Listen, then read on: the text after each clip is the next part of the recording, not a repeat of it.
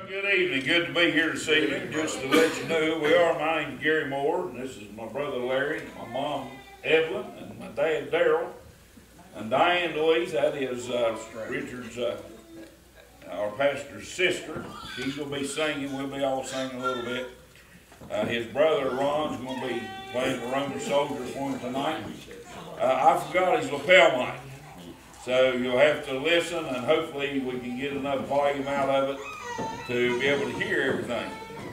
Well, what we'd like for you to do tonight is just to walk with us through this view of the highlights of the Apostle Peter. We have to imagine what he had heard and, and uh, things that he had done. You have to remember these men were men like you and I. Amen. They were humans like us. They had their faults. They had their they had their problems like we've got every day. Just like he mentioned Zack did about I go fishing. What went through his mind? And what did he think at that time? But as we thought about those things and we looked at it, we want you to understand that the songs we're singing are going to inter, interface with the play as it goes on. Be several parts of the plays, and uh, we're going to be see his call as a disciple, as an apostle. What a thought! What a thought he had to be called of the Lord Jesus Christ personally. Amen. Physically saw him and he calls him. And then we're going to the storm on the sea, one of the places in the Bible that's very familiar uh, with all of us. And then we'll go, of course, to the Mount of Transfiguration. What a sight that was and the day to behold. Peter was there and saw that. And what did he think? And then, of course, we're going to look at the suffering on the cross. We all know how Peter died and things like that, but we're going to look at Christ's suffering on the cross. And then the greatest part of the whole thing is his resurrection. And we're going to be looking at that this evening. In Psalms, hopefully, we untitle those two uh, go along with the play. But again, we, we ask that you just listen very carefully. Brother Dave doesn't have a mic, but you listen as he talks as he talks to the eyes of Peter. He is Peter this evening. And this is how he visioned things. And, and like I said before, we, we think of how these apostles and how great they were, and I've always thought, boy, I'd like to be on the inner circle. Man, I'd like to be like one of the apostles. They were like us, but you know you've got the same opportunity as a Christian to be like one of these apostles. Amen. We're not persecuted so much here in this area as we, Amen. overseas they are in different places. But we, as a Christian, have the same opportunity, and we can be as close to God as you want to be to God. Amen? Amen. And you get close to Him through His Word, through His reading, and through the preaching of God's Word, and everything. And I better be quiet. We ain't going to have time the play, are we? But anyway, we just want to introduce, as Peter comes forward, and we all see Peter as he comes forward to be talking about uh, how his call was to discipleship. Discipleship. Peter, where are you? Uh, calling the Apostle Peter. Calling the Apostle Peter. Of course, we've got the Roman soldier with him. Make room.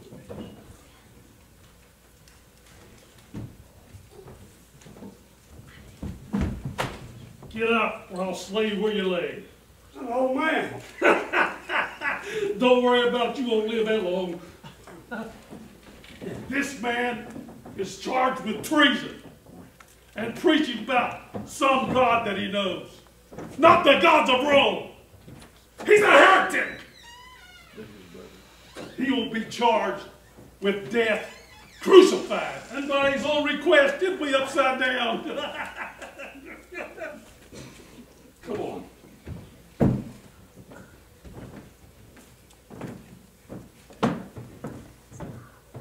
What he don't know is, it's not the first time I've been in jail. I'd like to talk to you a little bit this evening. And I want you to go on a journey with me. I got a brother named Andrew, and he come to me one day, and he he had been running around with John, and him and John had become disciples of John the Baptist. John the Baptist one day, as he was standing there looking down the banks of the Jordan River, Christ come walking up. And John introduced Jesus to Andrew and to John and says, Behold, the Lamb of God, which takes away the sin of the world. Amen. My brother Andrew should have been home fishing. After all, me and Andrew and James and John, along with their dad Zebedee, we run a fishing business. But Andrew and John somehow had gotten to be disciples of this man named John. A guy dressed in camel's hair, eating locusts and wild honey. But he started preaching, repent for the kingdom of God is at hand. Bless you, Lord. And so John was going from place to place as my brother and others began to throng around John and began to listen attentive to his words. Well, Andrew come running home one day and said, Peter, I found him. Hmm. Hmm. And I said, found who? Oh, I said, I found the Messiah. Oh. Yeah. The one that Yeah. the scriptures had told me and told us one day would come. John introduced him to us. Yeah. And I went with him. Me and John went with him one day as, as Jesus was walking and we asked him, Where would you dwell? And Jesus said, Come and see. And we went and, and Peter, you know, he, he said, You're not going to believe it. We spent all day there. Evening we just stayed. And I've come to tell you this evening, I want to take you back with me to meet that man named Jesus. Amen. You remember when somebody took you to meet a man named Jesus? Amen. Oh, thank God. So we went, and, and I came there, and as I met this unassuming man, as we found later a Nazarene, and just like Nathaniel said, can anything good come out of Nazareth? Uh, and as I talked to him there, and he saw me for the first time, he said, Thou art Simon, the son of Jonah. He said, No longer you're Simon, the son of Jonah. I'll call you Cephas.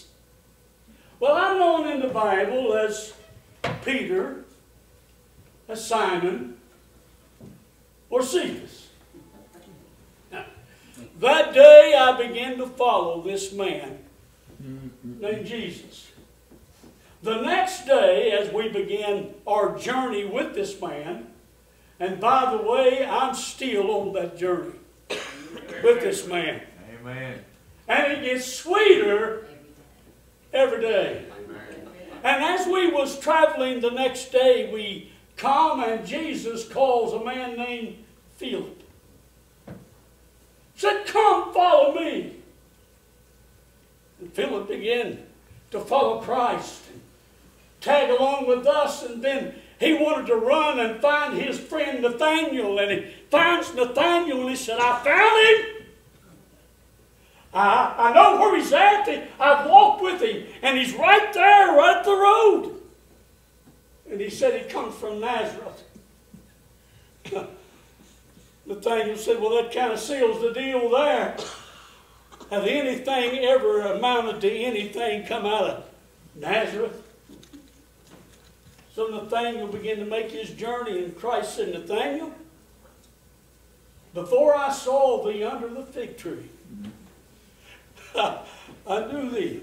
Yeah. Nathaniel You mean you saw me under the fig tree? Oh, let me tell you something. Jesus can see you where you're at tonight.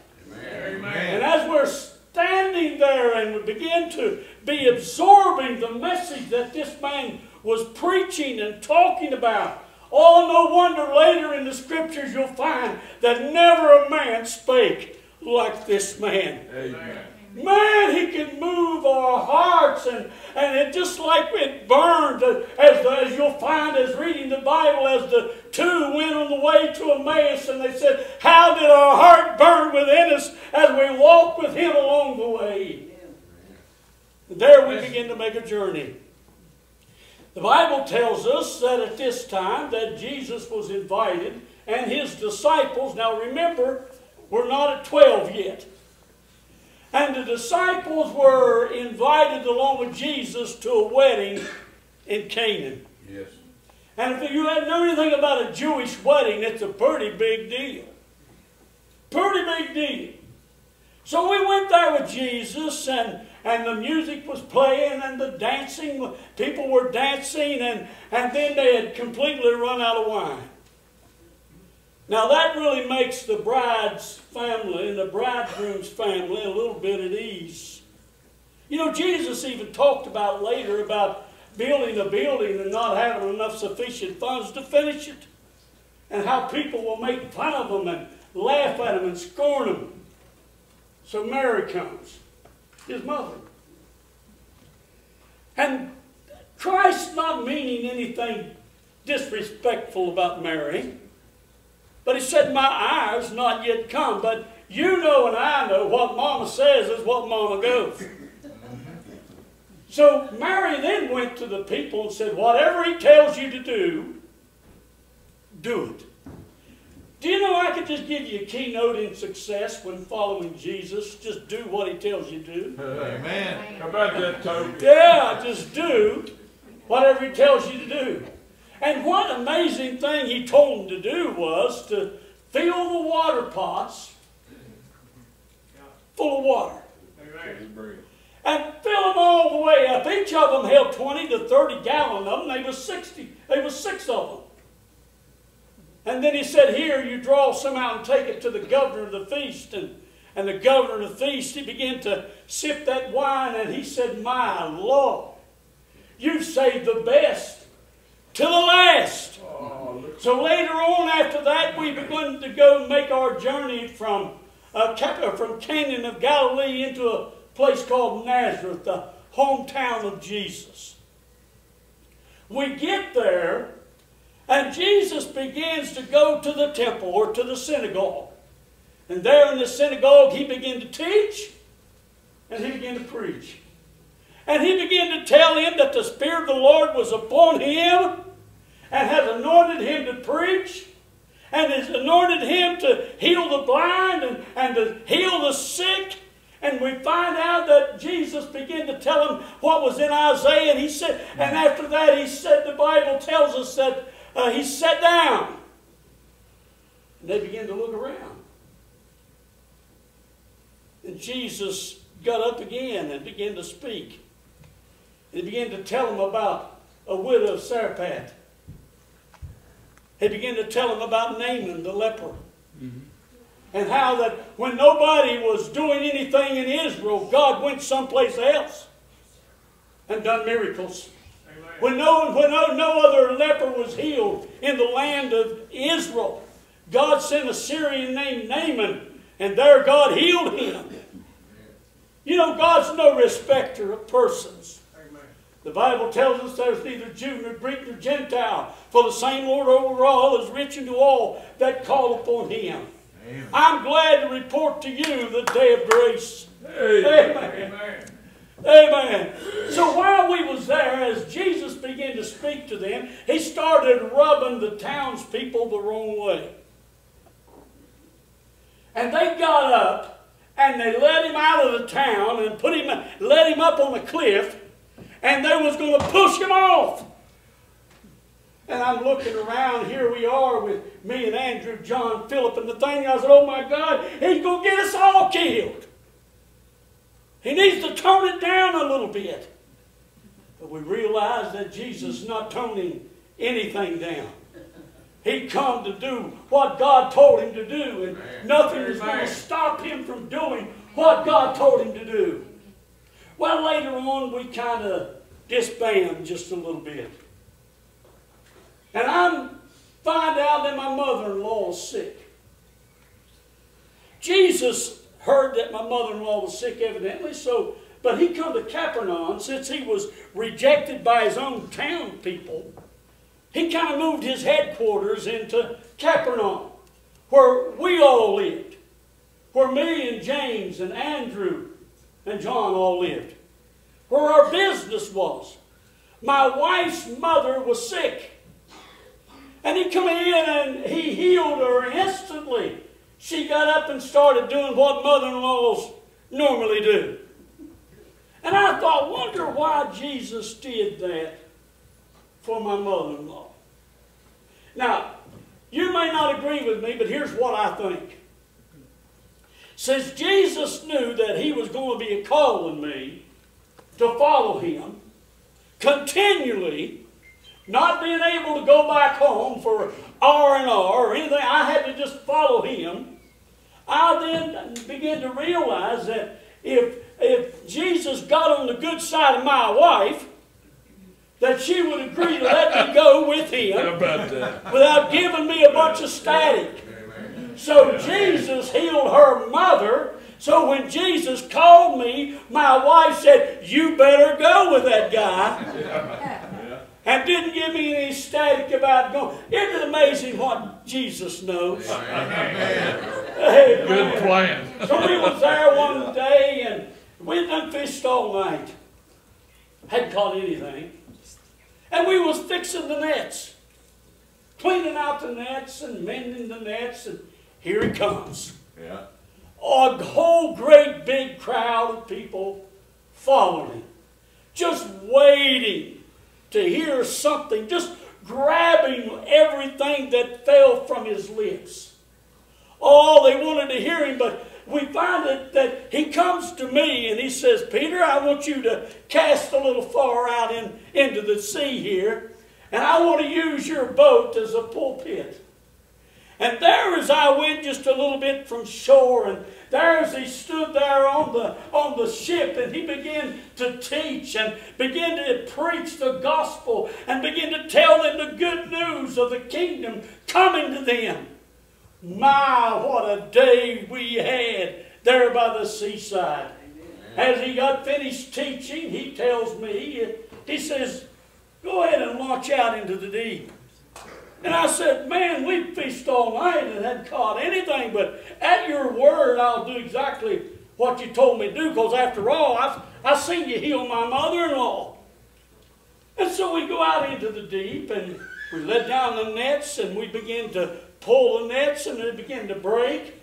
We hollered for James and John, bring your boat and come on. There's more fish than we can handle. And I, we had enough fish to begin to sink our boat and John's boat. Let me tell you something, and I begin to realize that this is Jesus, yeah. the Son of the living God. And I knelt down and I said, Depart from me, Lord. I'm a sinful man. Yeah. Oh, amen. And he, and he tells me to get up. He said, I'm going to make you fishermen of men.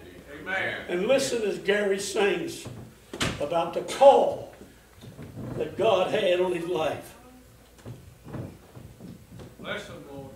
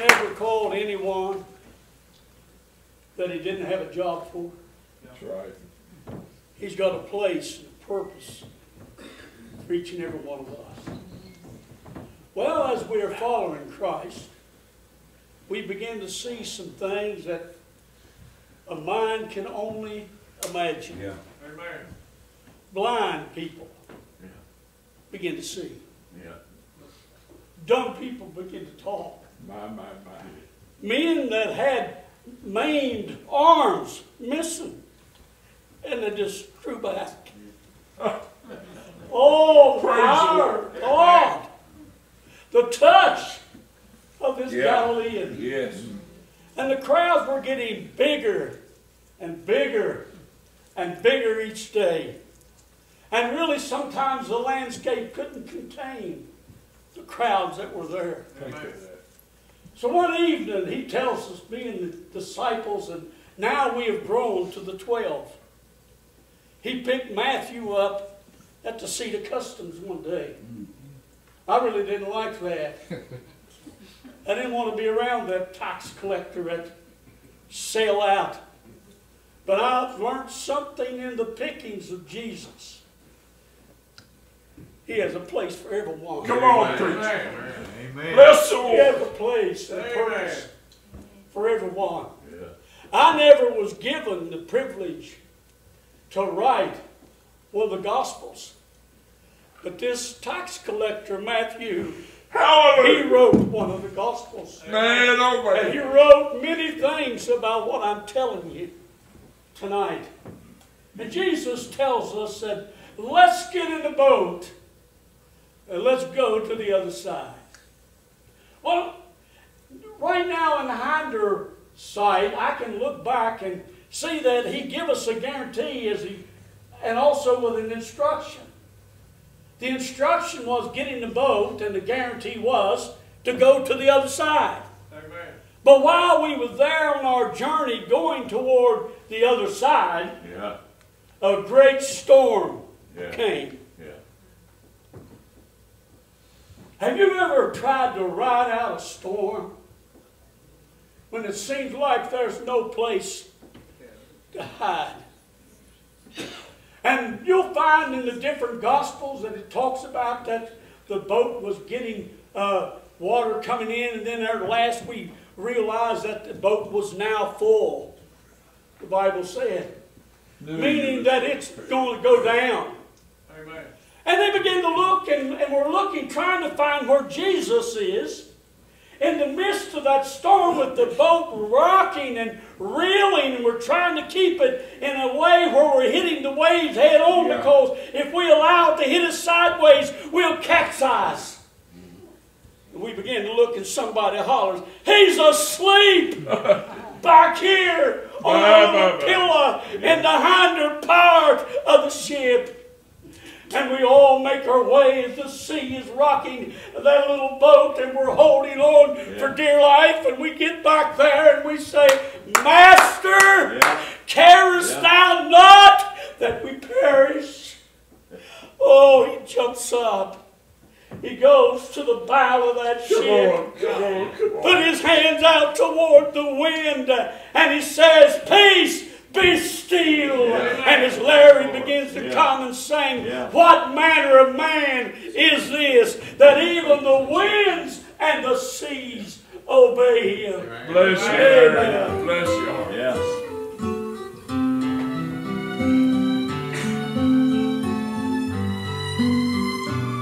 Bless you, Larry. Bless your heart.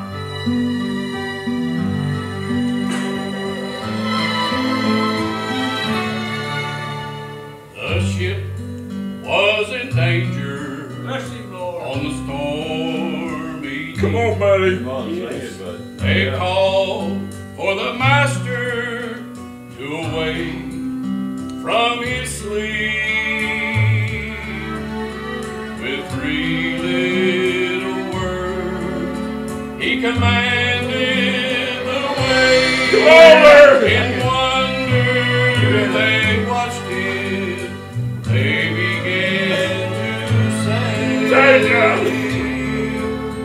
What manner of man Amen. Bless the Lord. What manner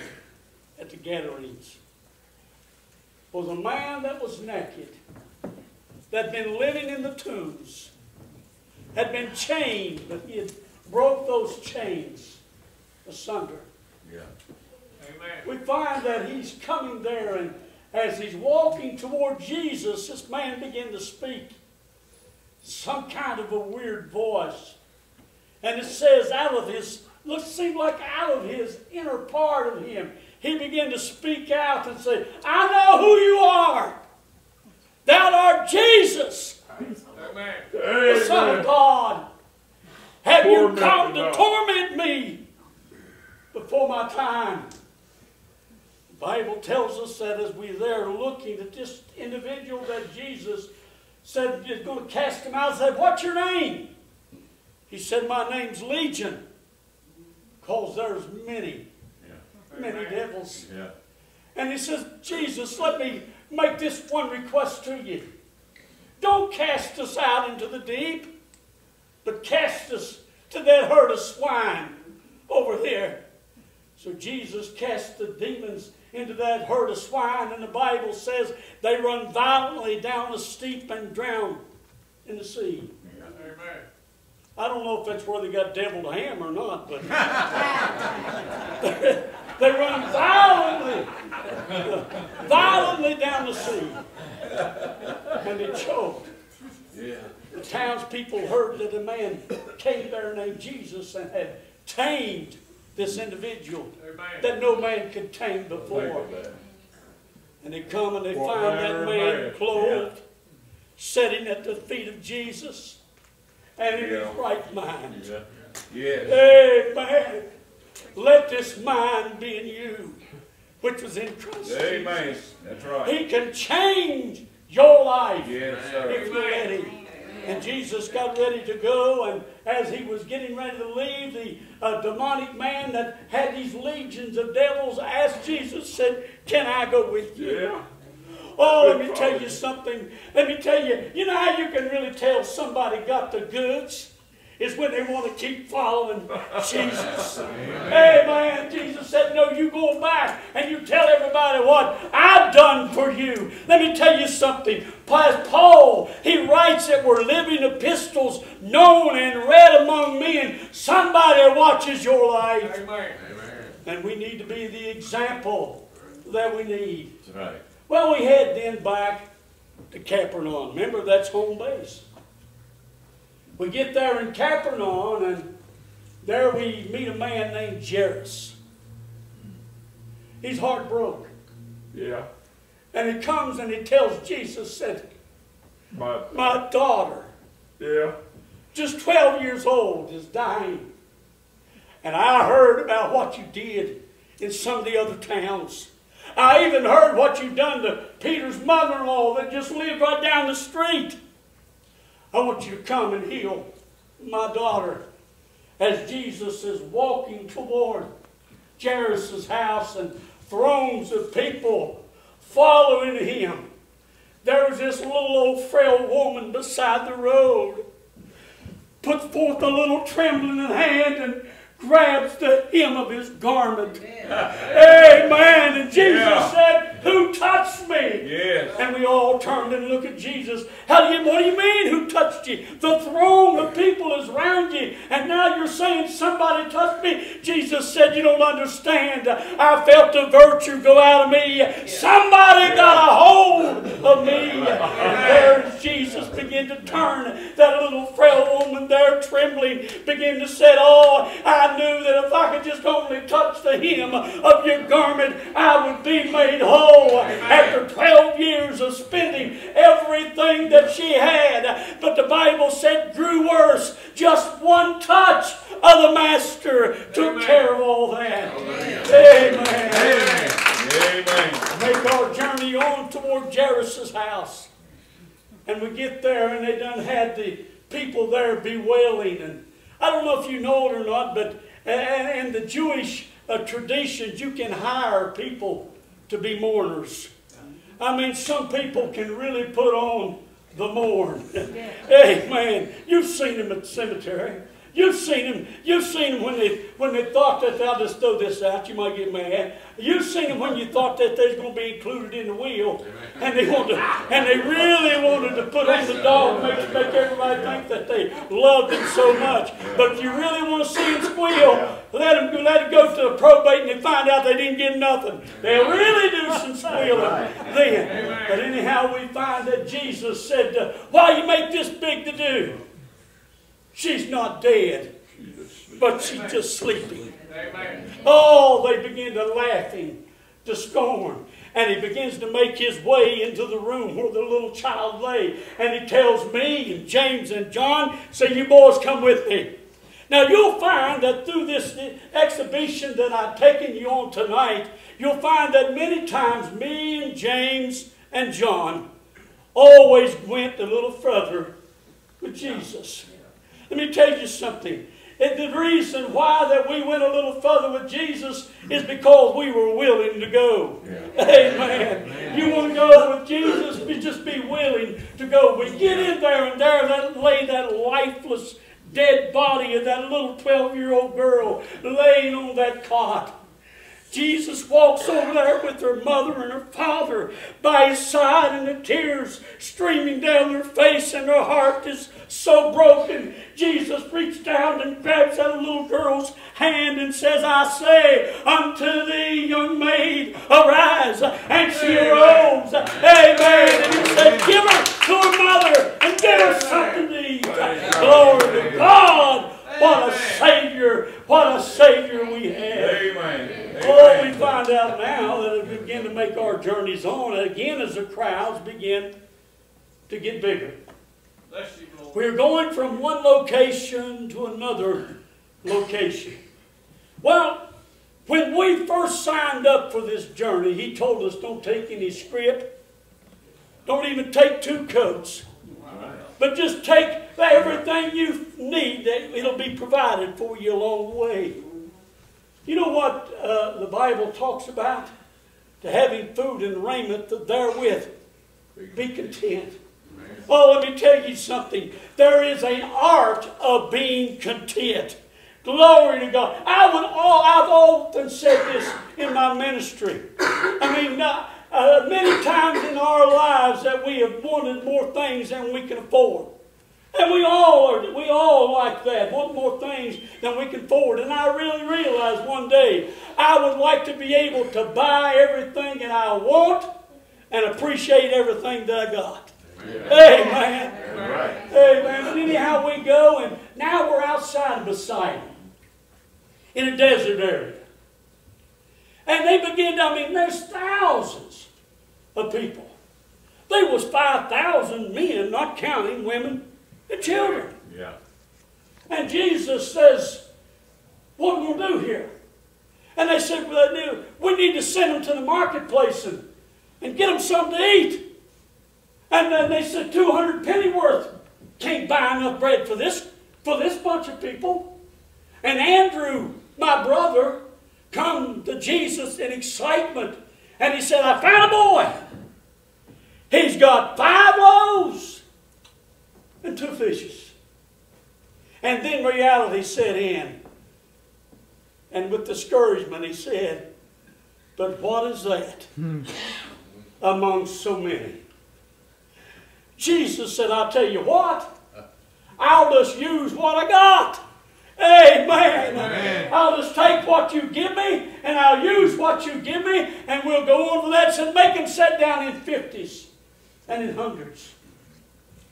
The Bible said he began to break the bread, to break the fish. Amen. And he began to give them to the disciples, and the disciples went around to the different groups until every man, woman, boy, and girl were fed. Amen. And not only fed, but the Bible said was filled. Amen. And then Jesus says, okay, go, go get the fragments that's left over. Anybody remember how many fragments left over? Well, bad. Twelve baskets Yes.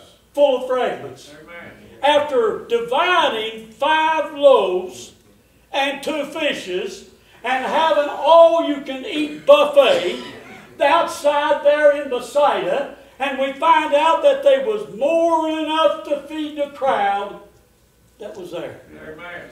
But that's not all. That evening, the crowd was in a frenzy. They were going to come at that time and forcibly make him king. Because they've done seen him. And they've done heard about him raising the dead. They've done heard about him restoring the sight to the blind and causing uh, the dumb to speak, the deaf to hear, the crippled to walk, the lame to run. And they was going to go by force and make him king. So he tells us to get in the boat and he'd meet us on the other side. Yeah. Well, we get in the boat and we begin to make our journey toward the other side. It's about in the fourth watch. And it's been contrary from the time we left in the evening until about four o'clock in the morning.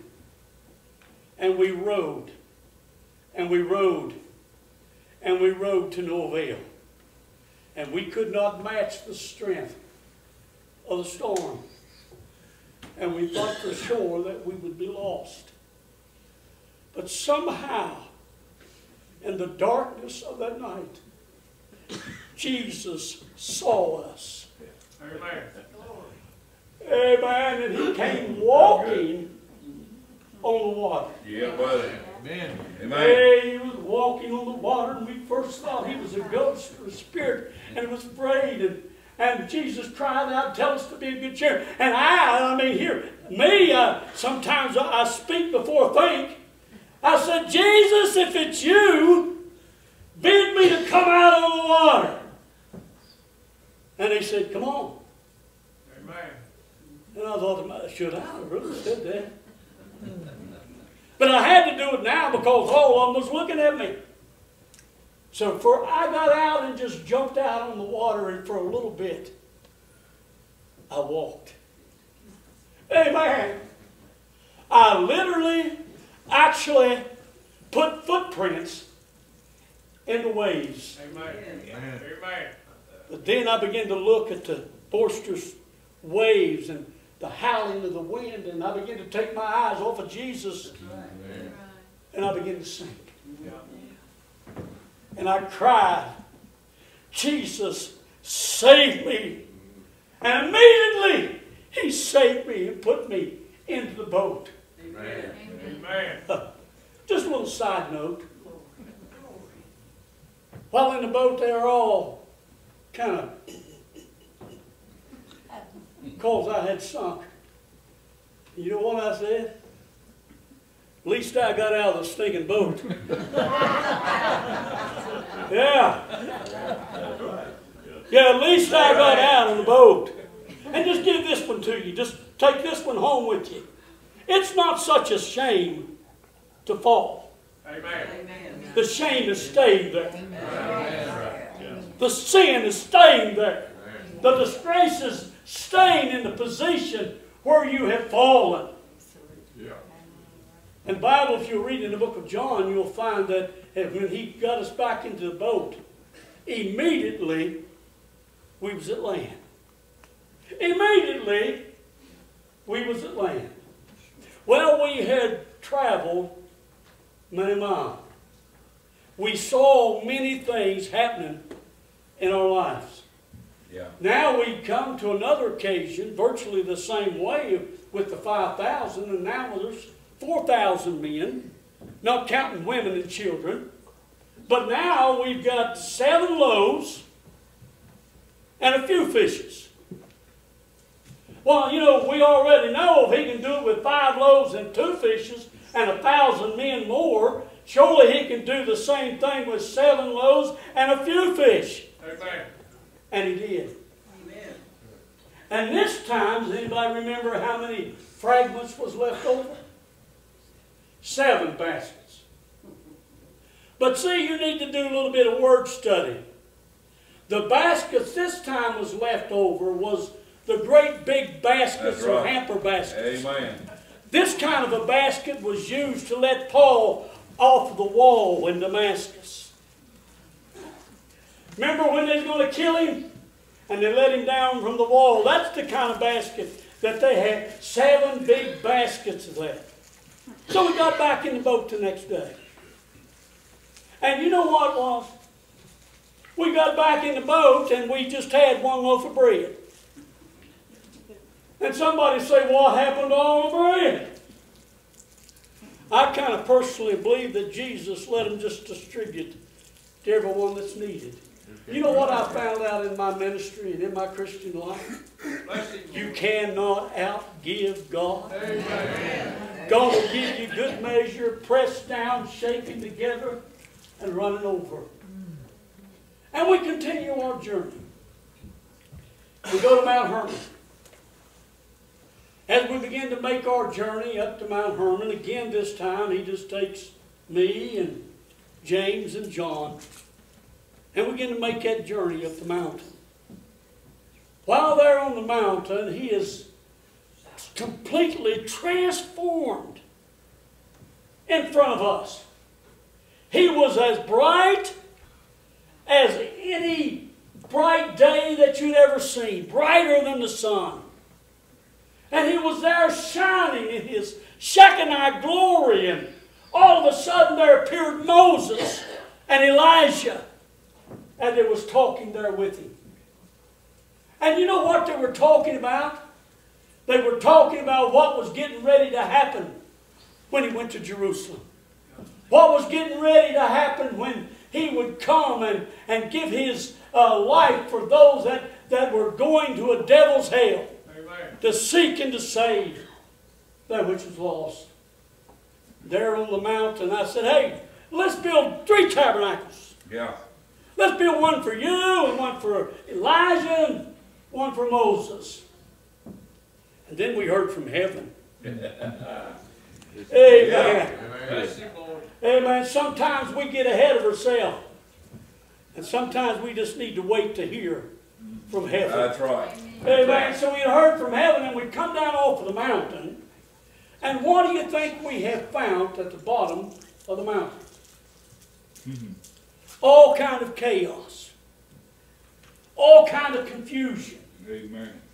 As soon as we get to the bottom of the mountain, this man came running to Jesus and said, Jesus, I brought my son to your disciples to heal them, Couldn't do nothing. but they couldn't do it. And he said, Now, Jesus, if thou canst do anything, do it. And I'm going to tell you, and show you how Jesus turned the if around.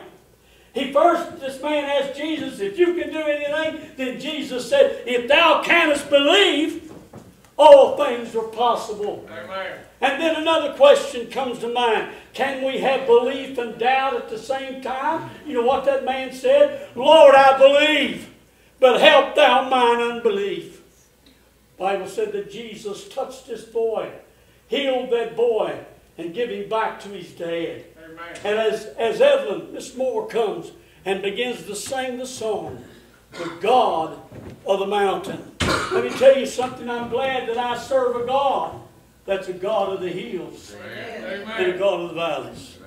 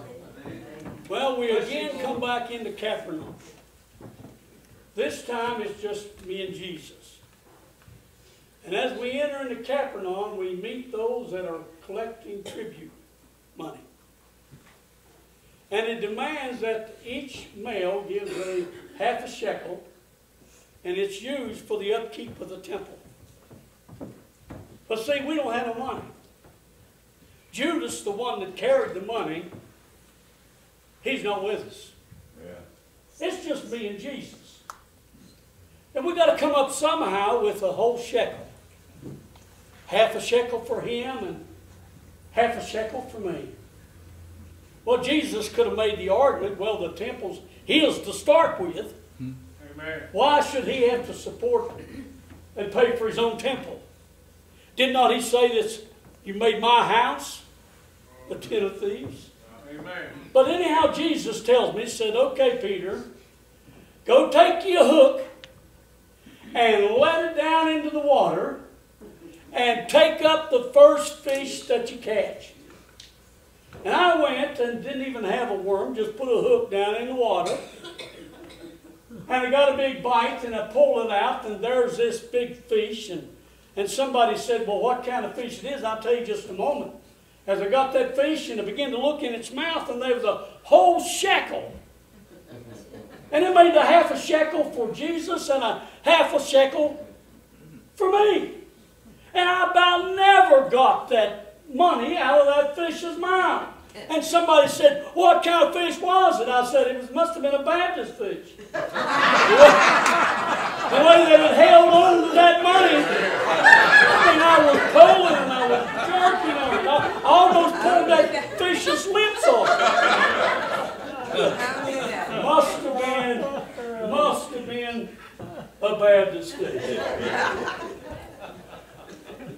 But life goes on with Jesus. Amen. Every opportunity that we have, he's teaching. He began a while back teaching in parables. And then later on, he'd get us disciples together and explain to us what the hidden meanings were with what he was teaching. He had given us as disciples, and plus he added another 70 to our bunch, and give us all the ability to cast out demons and to heal the sick and all manner of diseases. I remember one day as the 70 came back in, oh, they was excited and they said, oh man, we've got the authority to cast out demons. Jesus said, what you ought to be shouting about is that your name's written in the Lamb's Book of Life. Right. That's what you ought to shout about.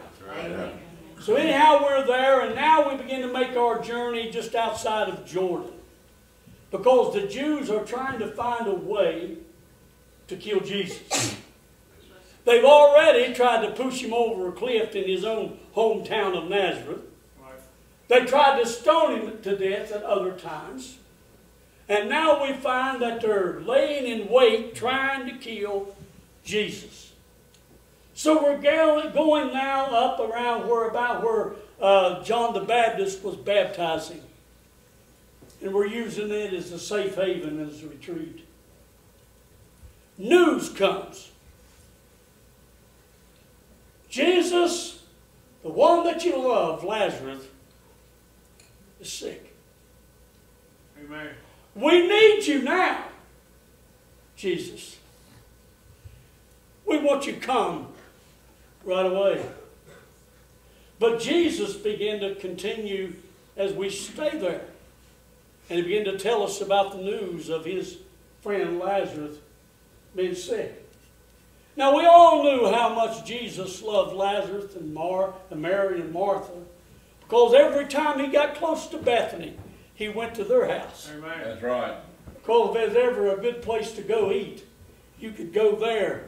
And man, them women knew how to put on the plate. So we were there talking and, and we're deciding what we we're going to do. And Jesus continues to wait. Wait there a few days, and Jesus said, Well, I believe I'll go and wake Lazarus. And we begin to say, well, if he sleeps and he's all right, why, why jeopardize your life and our lives when he's just sick? And how many of you have ever had a bad feeling or thought about the Apostle Thomas? We all label him as Doubting Thomas. On this occasion, you know what, you know what Thomas said? As he's there looking around, and we knew that if Jesus went in that direction, because Bethany is just a, just a stone's throw up the Mount of Olives away from Jerusalem. And they're going to kill Jesus and they're going to kill all of us. You know what Thomas said? Let's all go with him so that we might all die together. Isn't it amazing at times when we need help and strength, God can give us help Amen. and strength? You remember Joseph Arimathea where the Bible said that he was a disciple secretly? And him and Nicodemus got bold enough to go and beg for the body of Christ. I'm telling you something here this evening. You can do all things through Christ who strengthens you. Amen. So here we begin to make our journey toward Bethany. And as we get there, just outside of Mary and Martha's house, Martha comes running.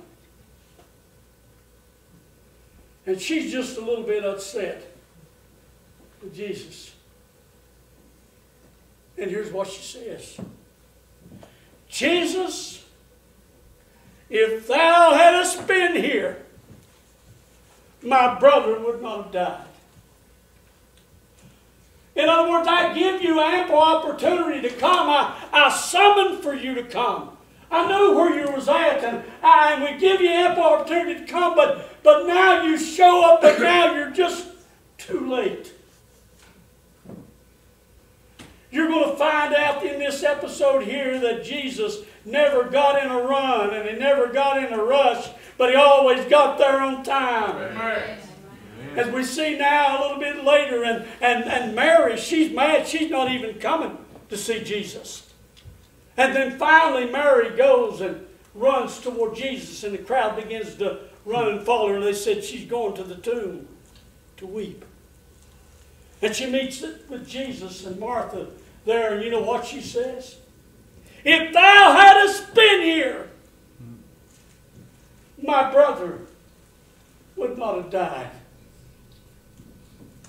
As Jesus looked at the heartbrokenness of Mary and Martha, the shortest verse in the Bible says, Jesus wept. Even though Jesus knew what he was going to do before he even got there.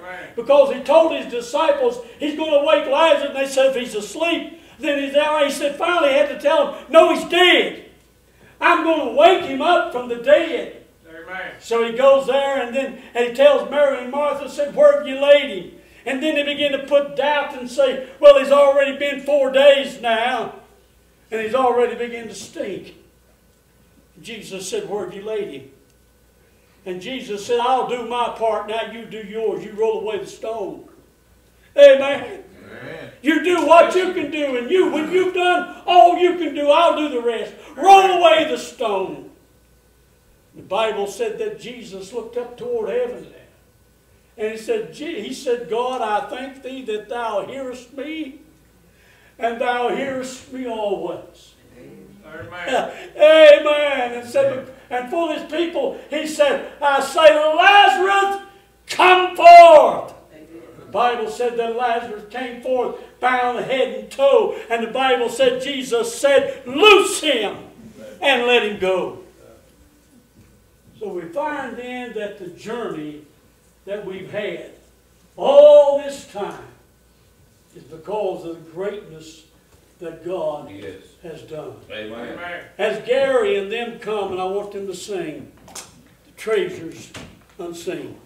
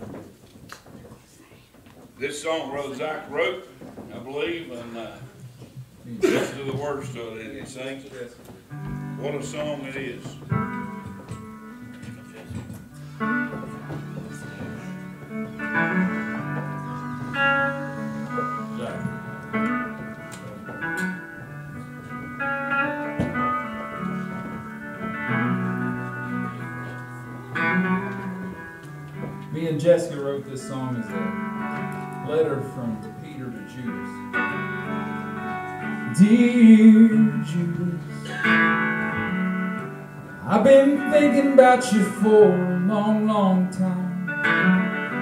And the more I think, the more I think I find your story's just like mine. I watched you slip away into the night that fell so black. I drew my sword intending to attack. Then, like you, I turned my back.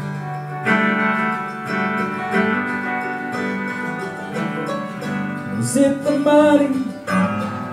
Was it the glory? Did you think you were the hero of our story? Did the love he taught us never find a home? Maybe you just figured you were too far gone. Oh, I wish you'd just held on. I wish you'd just held on. If I'm honest, the only thing back then that really saved my neck was my fear of fire of what might happen next. Oh, I couldn't take that But three days later, one rolling stone turned my whole world upside down. You can't imagine the amazing grace I found. I just wish you'd been around.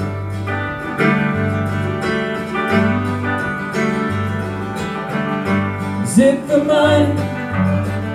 Was it the glory? Did you think you were the hero of our story? Did the love he taught us never find a home? Maybe you just figured you were too far gone. Oh, I wish you just held on. I wish you just held on. Some once cursed the very mention of your name. Make you the villain, try to pin you with the blame. We're all guilty just the same. Dear Judas, I'll mourn your end until my living days are through. Cause now I know that everything said was true. And just what his love can do. Make sinners like rain. Even ones like me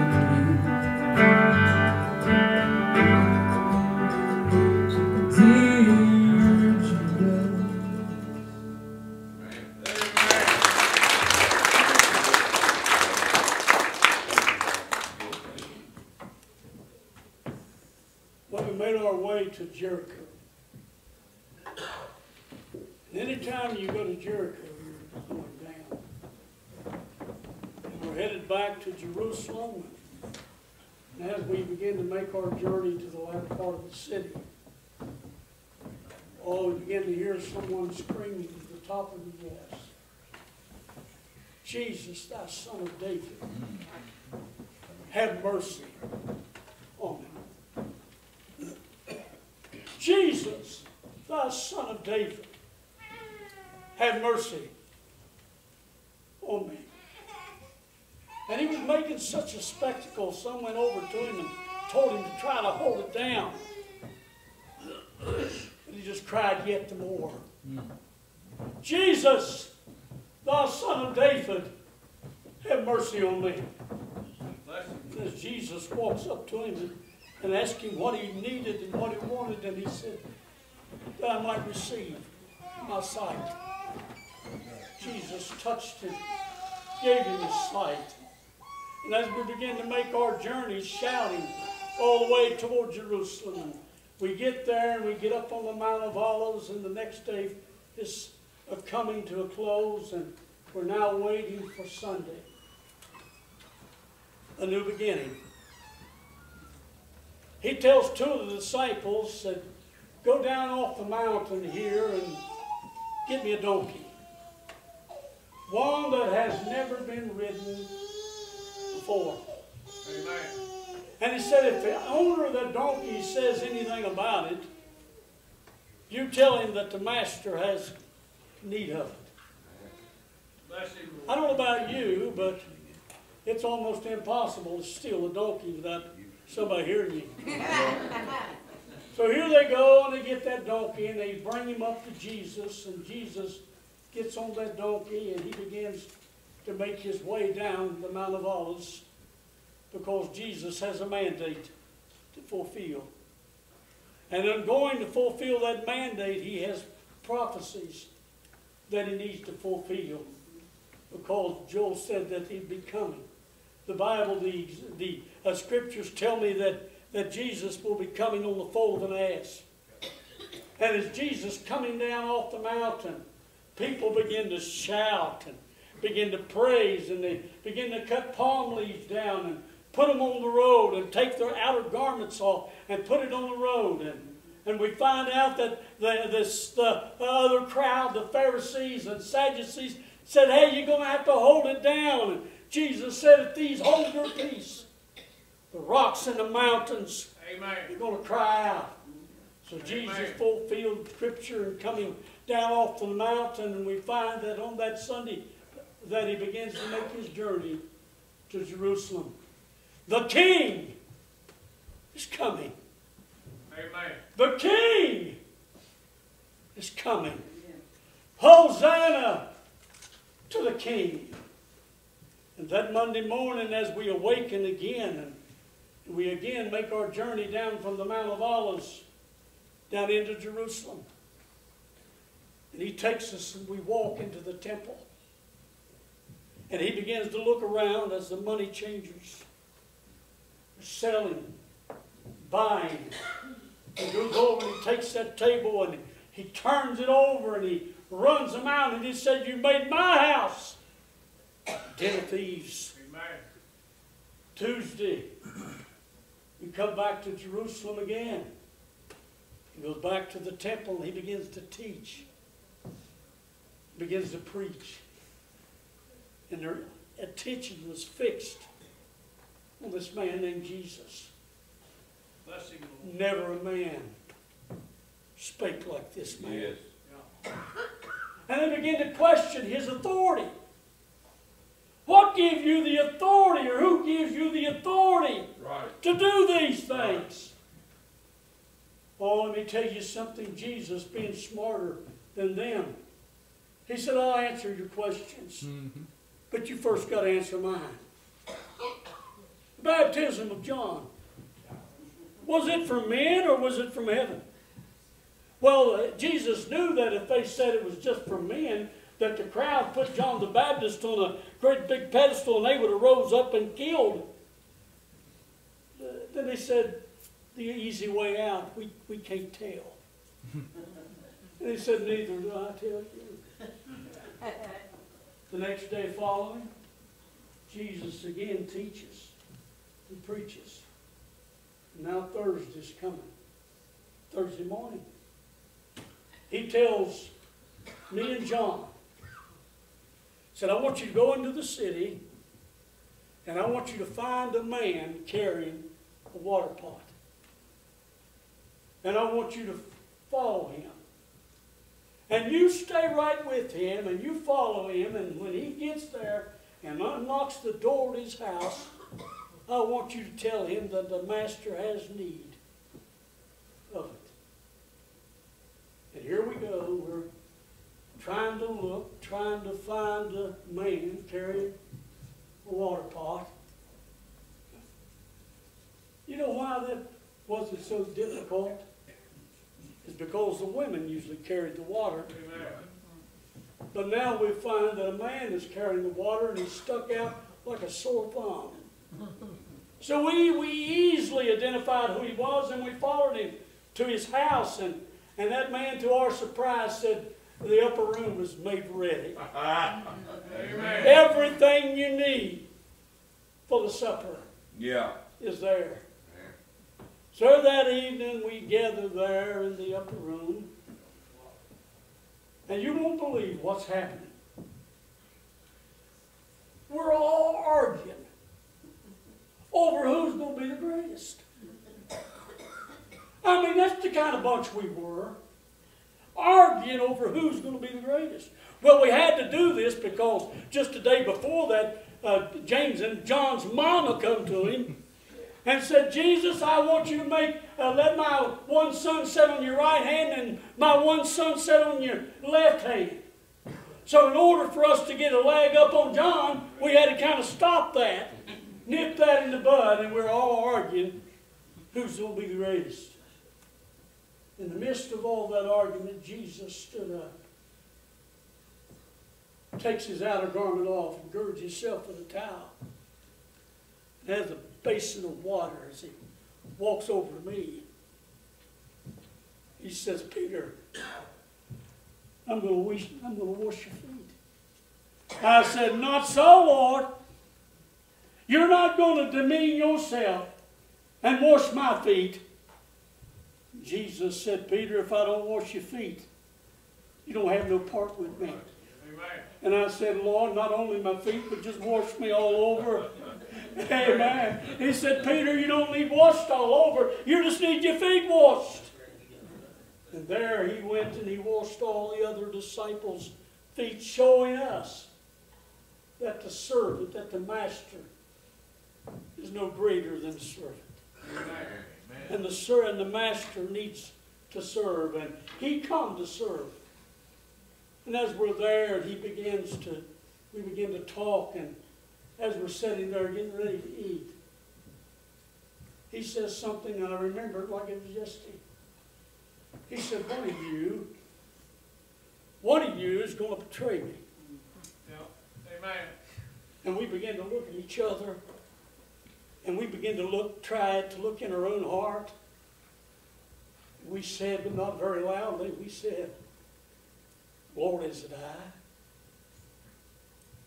Because I don't know about you, but I know sometimes I do things I, I wouldn't expect to do. Sometimes circumstances and different hardships and trials and difficulties make me make the wrong Yeah, decisions That's true. Bless him, Lord. sometimes. And we all begin to say, Lord, is it I? I motion for John. I say, John. Because he was over there leaning toward Jesus' side as we recline there on the, on the ground and lean over to eat. I said, ask him who it is. And Jesus said, the one that I give the sop to is the one that's going to deny me. And there as he reached that sop to Peter, or not to Peter, but to Judas Iscariot. And he tells Judas, says, What thou doest, do thou quickly. Now, what had happened on Wednesday prior to this Lord's Supper, this Last Supper, Judas had went to the Sanhedrin and made a deal with, with the Jews that he would sell Jesus out for 30 pieces of silver. Amen. And as Jesus sat there that day, as Jesus went out into the night, and we all thought he was going to get something for the feast, and he began to break the bread. He said, This is my body, Amen. Which is broken for you. And then he took the cup and said, This cup is the New Testament of my blood. Forget. Bless him, Lord. And he begins to tell the disciples, I'm going away. But where I go, you cannot come now, but you'll come later. And we're all heartbroken. Well, they told us that he was leaving, and we couldn't go. Well, I said, we've given it all to serve you. I said, I would, I'll die for you. And not only did I say it, but the others said it as well. But I was the one that was the most uh, uh, boisterous on my, my demand, saying, I'll, I'll not deny you, I'll, I'll die. He said, Peter, before the cock crows, you'll deny me thrice. Well, not me. Not me. As we sat there that day and began that evening, began to talk with each other and commune with each other, and there began to realize that indeed he was getting ready to go away. And he tells us to let not your heart be troubled. You believe in God, Yes. Amen. believe also in me. Amen. In my Father's house are many mansions. I go to prepare a place for you. And if it were not so, I, I would have told you. But I'm going to go prepare for you, and I'm going to come again Amen. where I am. There you may be Yes, also. right. God.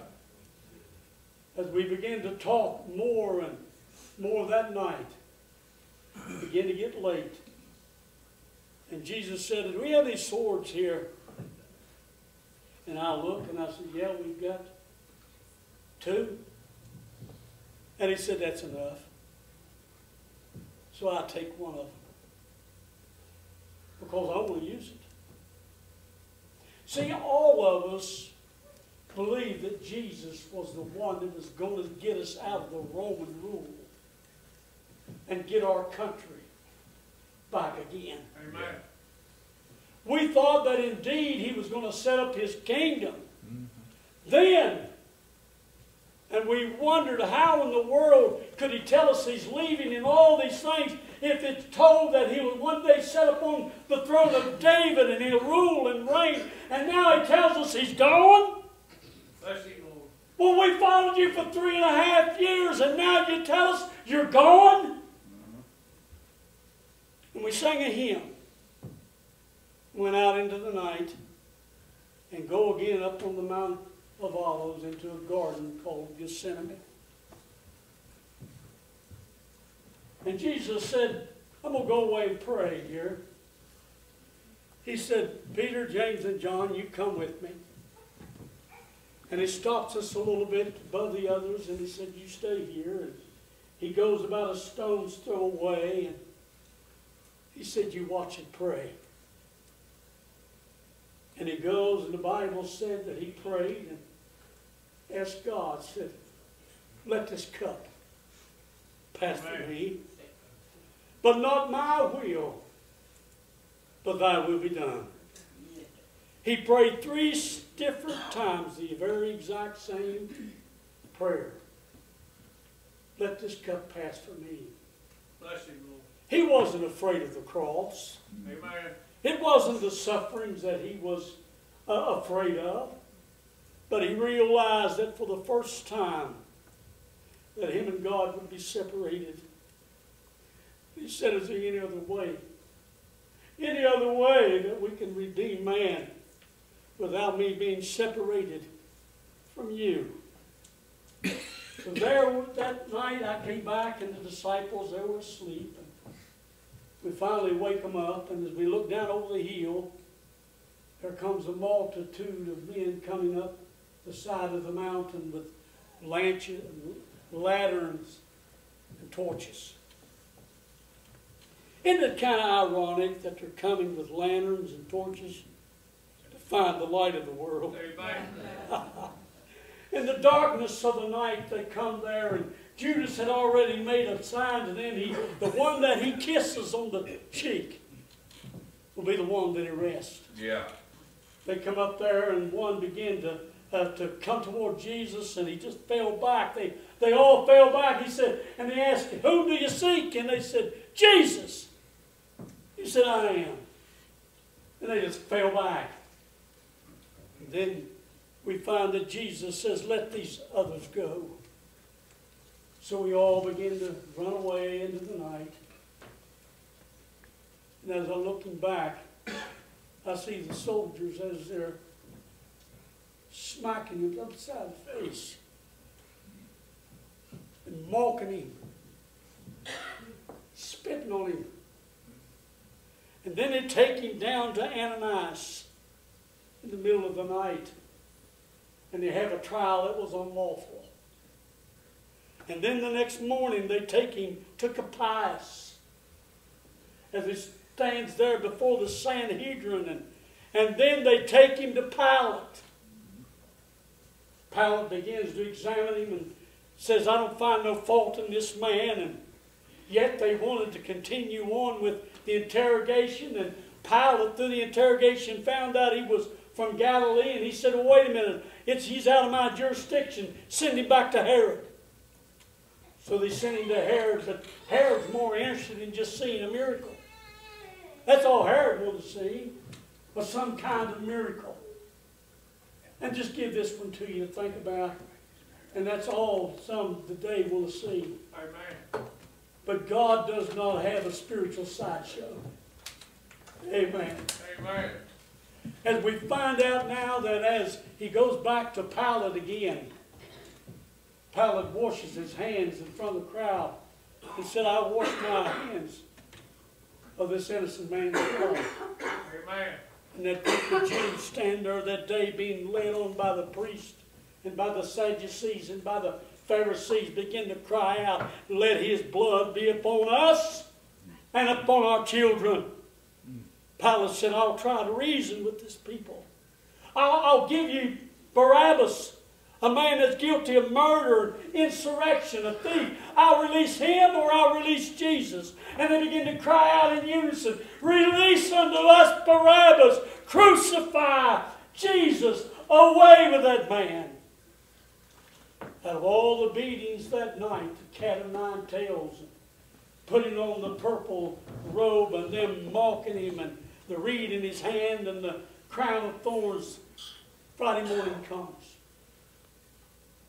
And they take him, begin to lead him down the Via Dolorosa to a place called Golgotha. Amen. And as they're leading him, Christ, because of the lack of blood and lack of sleep, his body to the point of exhaustion, falters and falls beneath the load of the cross, and they grab some Simon of Cyrene to carry the beam up to Golgotha. And there's they mock him and ridicule him and spit on him and pluck the beard from his face. And there they take him to the place called the place of the skull. And he mounts that cross. And they nail his hands and they nail his feet. On the right was a thief, and on the left was a thief. And the way that the Roman uh, government did that, when a person committed a crime, they would take and put above the cross, above their name, or, or above their head, what's called a superscription. And it was what they was guilty of. The thieves on the cross had above their head, guilty of thieving. You know what was above the head of Jesus? This is Jesus, King of the Jews. Amen. The only reason that he died was King of the Jews. He told Pilate, he said, if my kingdom was of this world, then my soldiers, my followers, my faithful men would fight. But one of these days, and I'll give this to you as just a side note, they mocked him and spit on him the first time he come, but the next time he comes, uh, it'll be different. Amen. Praise God! Amen. He came riding on a little donkey, uh, coming down from the Mount of Olives. But the next time he comes, uh, he'll be riding a white charger, and there we'll find the armies of heaven will follow him, and there he'll come and put his feet on the sand, uh, and put his feet on the sea, and there he'll declare time no more, Amen and he'll put down all authority, and one day he'll rule and reign. Glory, Amen. glory to God.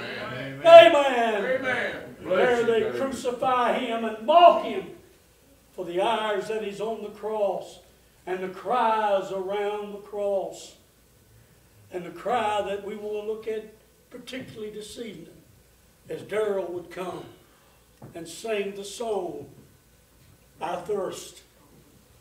Think about this.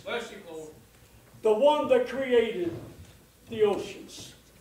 The one that measured the seas in the hollow of his hands said, I thirst.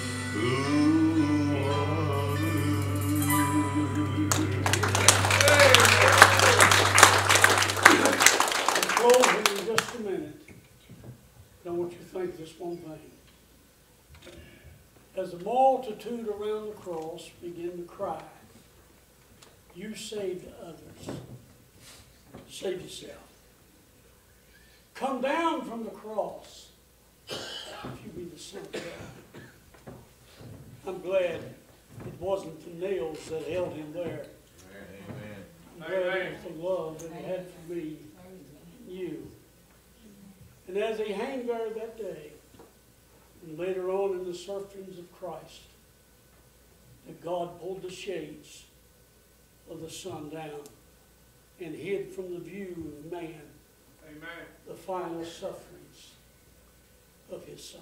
Mm. When Abraham was getting ready to offer up Isaac, he said, Dad, here's the fire. Here's the wood. But where's the sacrifice? Abraham says, and God shall provide himself a sacrifice. Amen. Now, the new versions of the Bible say, and they changed some words, and they said, and God shall provide for himself. That is what it said. Amen. It said that God shall provide himself a sacrifice. Christ said, I and the Father are one. So we find that Jesus did indeed die for sins. Amen.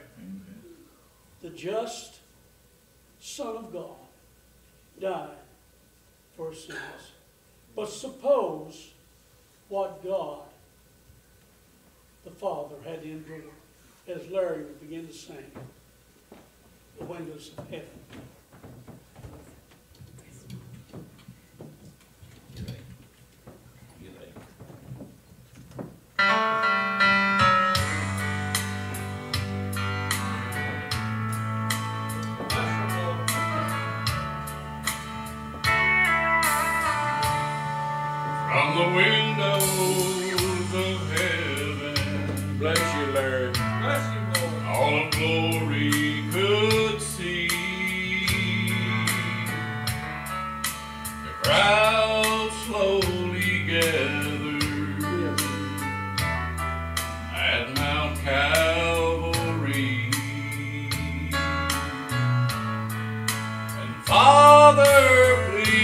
Please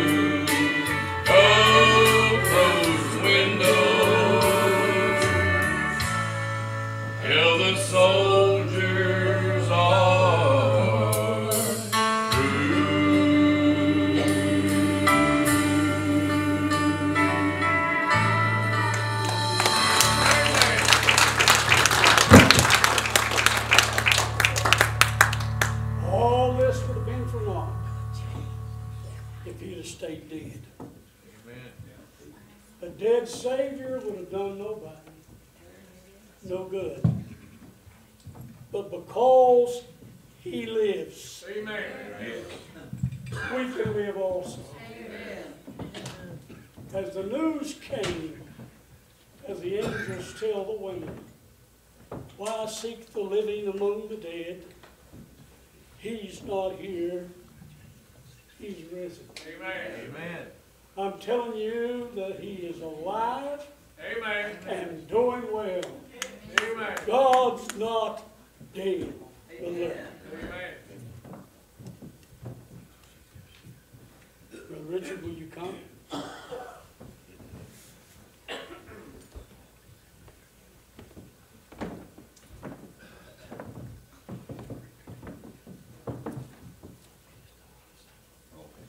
I don't care what you've done. I don't care where you've been.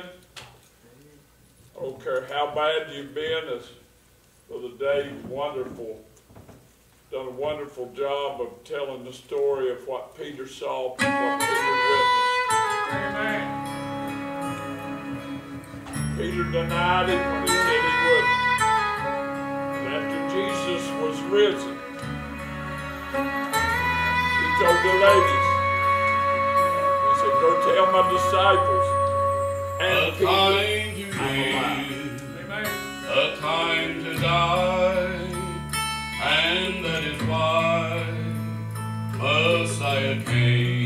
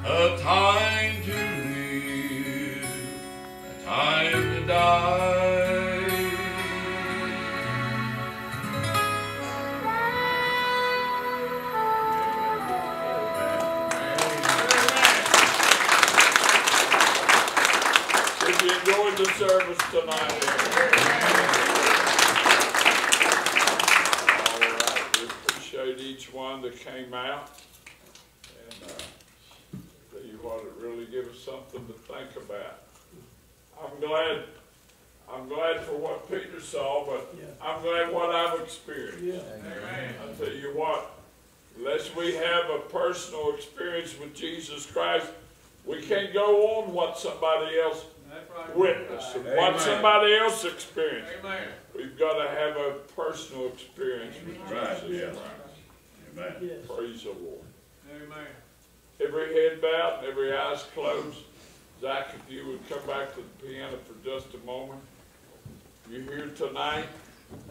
Say, Brother Richard, I, I don't know the Lord, but the Lord spoke to my heart tonight.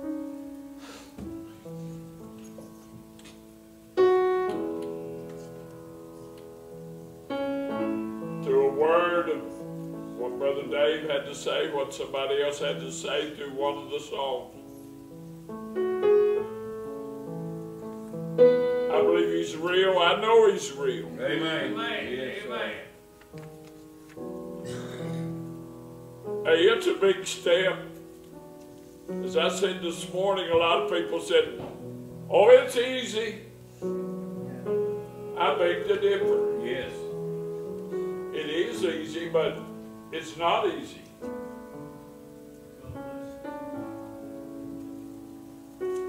I'll tell you what, making a decision to follow Jesus is a big decision. It's a life changing decision. It ain't, it don't require nothing on you but to submit.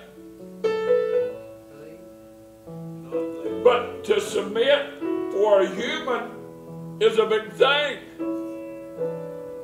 Turning everything over to somebody that you can't see, that you can't hear with an audible Yeah. ear.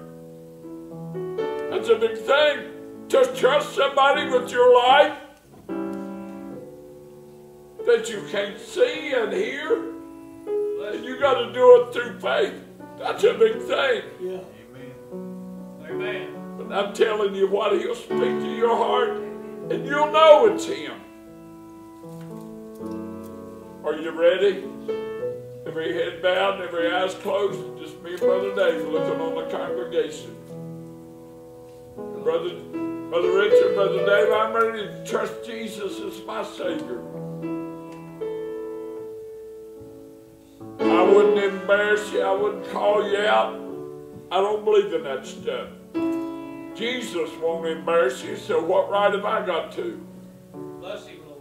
But if you're here tonight and you say, Brother Richard, I want to be saved and I want you preachers to pray with me. Brother Gary here, he's a preacher. Slip your hand up good and high. Say, I want you preachers to pray with me. Could you do that? I need to be saved. I know I need to be saved. I want to be saved. Well, preacher, I ain't ready to be saved tonight, but I want you to pray for me that I'd be saved before it's too late. So y'all remember me in prayer. Slip your hand up and say, y'all pray for me. Bless your heart. Somebody else. Y'all pray for me that I'd get saved before it's too late. Father, we come before you tonight. We're thankful, Lord, for the service. Yes. Thankful, Lord, for all that we've seen and heard and felt. We praise you, Lord, for the sweet spirit that's been Yes. here. Yes. God, I thank you, Lord, for the hand that was raised. Lord, you know the need. And I pray, Lord, that you would help each individual. Bless Brother Dave and his church, Lord. God, the good singing tonight, I pray that you would bless each one of them. I pray, Lord, that you would help us, Lord, that we would take what we've heard tonight. Lord, that we would lodge it in our hearts. Lord, we would allow that to feed us, Lord. Help us to grow, draw closer to you. Last but not least, Lord, deal with the lost. Those viewing by live stream. God, whether it be tonight, tomorrow, a week from now, a month from now, a year from now. Lord, help folks to see that they need you more than they do anything in this life. They need to be saved and need to serve you. Give folks traveling mercies as they go home. Lord, watch over us and keep us all, Lord, to the Yes, next appointed time. Yes. It's in Jesus' name we pray. Amen. Amen. Amen. Amen. Good night. God bless you. Be careful Amen. going Bless your heart. Love you. Come back.